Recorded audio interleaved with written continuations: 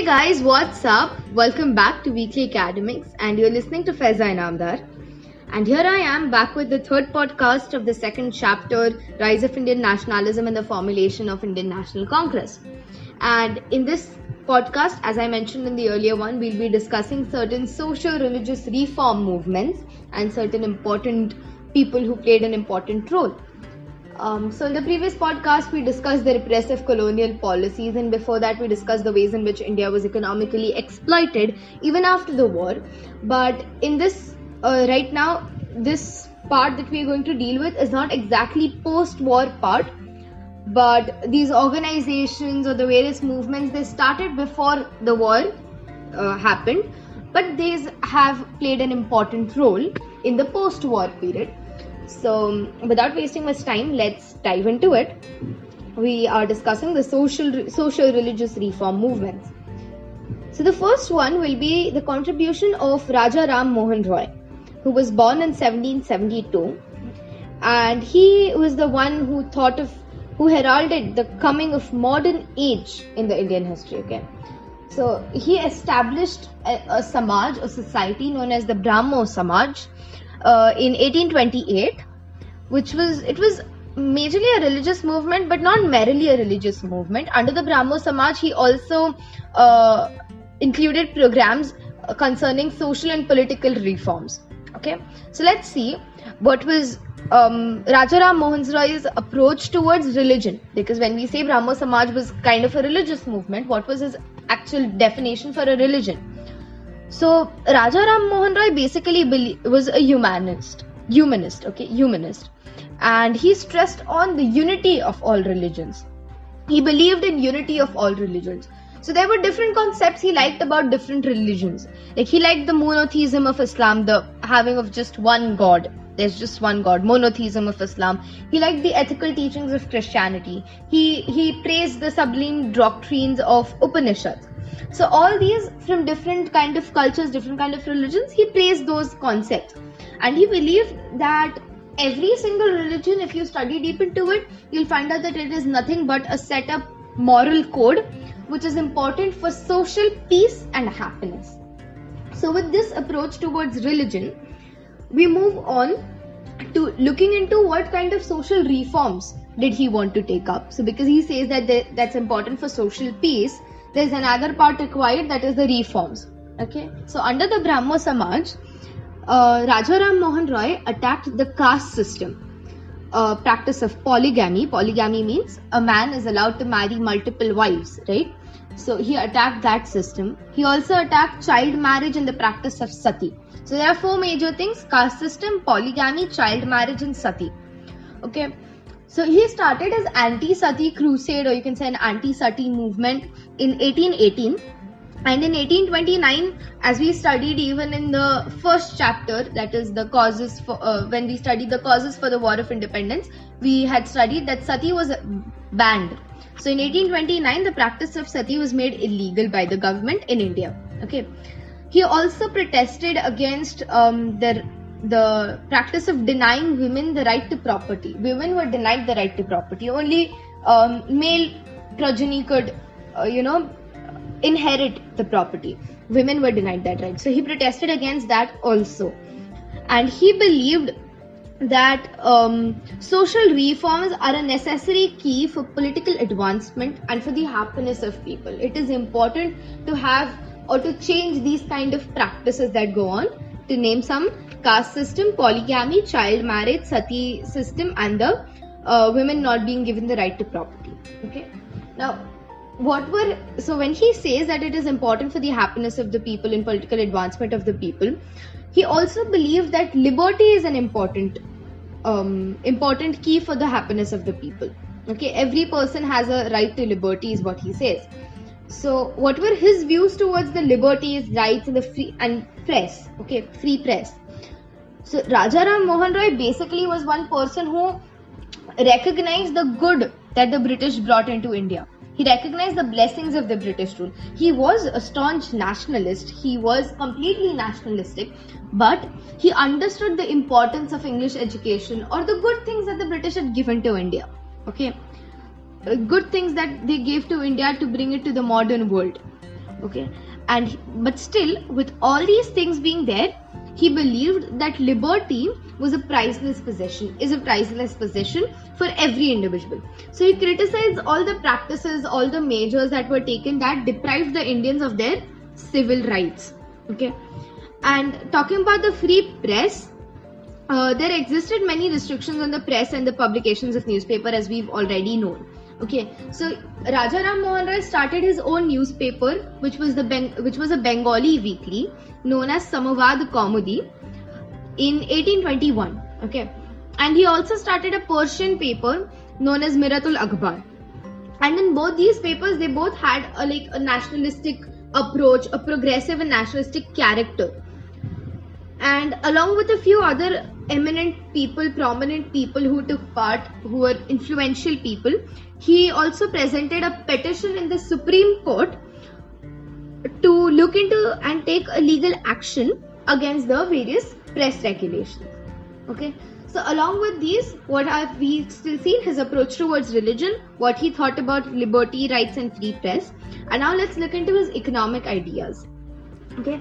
So Raja Ram Mohan Roy was sympathetic towards the cause of the poor peasants. Okay, he realized their distress, and he wanted that the military budget should be reduced and more amount should be more funds should be diverted towards the welfare of the people, health and education of the people.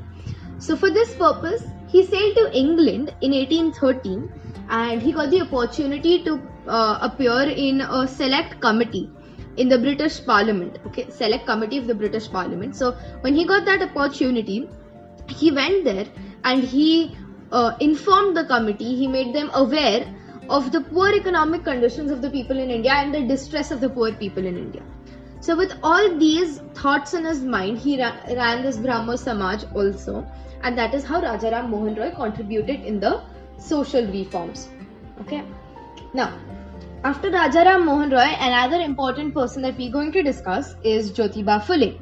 So Jyotiba Phule was born in Satara in 1827 in Maharashtra, and uh, his family earned their living by gardening, by growing flowers and vegetables. So they were basically Malis. So you can get that from his surname Phule. Phule means florist. So he earned his living from gardening. So they were not a high class person. Rajaram Mohan was a high class person, but Jyotiba Phule was a lower class person, and that is the reason why he, his main work was towards the lower class people also. So he uh, was a very famous social reformer in the so, uh, 19th century. So let's look into what he did. First, he worked for the upliftment of the lower caste. Okay, so he talks about the caste structure to be slavery. He talks about caste structure as a system of slavery. He's also mentioned this in his book known as Gulamgiri, in which he focuses on Brahmin domination and the poverty, hardship, and distress of the lower castes, what they were facing. Uh, he strongly felt that uh, the problems that Dalits or the Shudras and Ati Shudras were facing could be solved if they get proper education. So he even worked in that field of giving them education. Okay, so he's written a book known as Gulamgiri, which talks about Brahmin domination, poverty, and hardship and distress of the lower class. Lower class, namely the Dalits, Shudras, and Ati Shudras. Okay, and when we say he worked for the education of these lower caste people, he not, did not just work for the lower caste people but also for women. So this brings us to the point of gender justice, which he worked for. So Jyotiba Phule basically believed that women were superior to men because they were the ones who bore the children and nursed the children. So he believed that men did not educate their wives or their daughters or any women in their family. They did not want the women to be educated because if the women get educated, they might question the dominance of men. So therefore, he worked for the education of women also. How? He established um, one of the first girls' school in 1848 in India. He also set up an orphanage in 1854 to provide shelter to poor uh, widows or children. Okay, shelter to widows and children. He also founded various number of girls' school, school for girls and the lower caste. That is the Mahars and the Mangs. These are also a type of lower caste group. So he formulated schools for the lower caste, for girls. That's how he promoted education. Okay. So, how did he do this?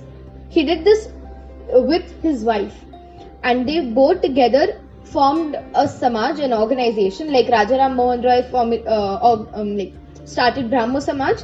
Jyotiba Phule had Satya Shodhak Samaj. Satya Shodhak Samaj. So Satya Shodhak Samaj was basically like a society of for seeking for the seekers of truth, if you just translate it. So he found this Satya Shodhak Samaj on the 24th September 1873 and the main aim of the society was the they endeavored to mitigate the distress and sufferings of Dalits and the women. Okay. So his wife Savitri Bai Phule, you all might have heard her name. His wife Savitri Bai Phule was the head of the women's wing of the society. So he had a complete wing for the women. Okay, that's how he empowered the women also. So he worked for education, upliftment of the lower caste, and empowerment of women. Okay, so now just let's take a glance into how he looked at the British rule. How what was how did he characterize the British Empire? So like Rajaram Mohan even Jyotiba Phule uh, praised the British rule for giving Indians the tools with which they could gain their independence, with which they could fight social injustice and gain their independence. Okay, so he praised the goods of it, but still, even though he praised the goods of the British rule, in his book Gulamgiri, as we talked about it earlier, he mentions that it is the farmers and it is the labor of the farmers on which the government, the army, the salaries, and the pensions of all the white people is dependent. So he states in his book, and I quote, I'm quoting it, okay? When the farmers educate themselves and carry whips on their shoulders, the English will have to scream and yell and flee the country. Unquote.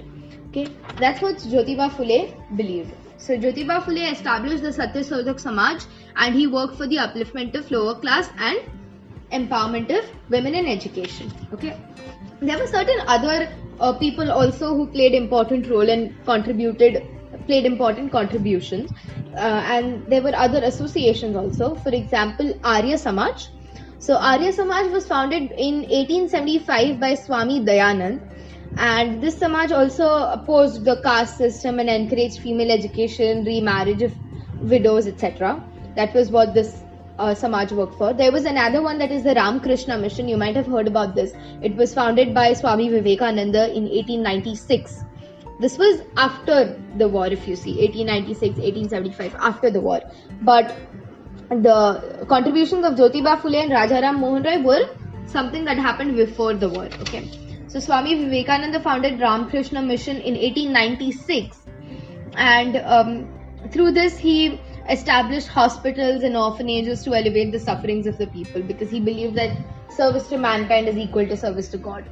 So these were the important contributions of uh, important people. As far as syllabus is concerned, majorly Rajaram Mohan Roy and Jyotiba Phule are focused on, so do them in detail.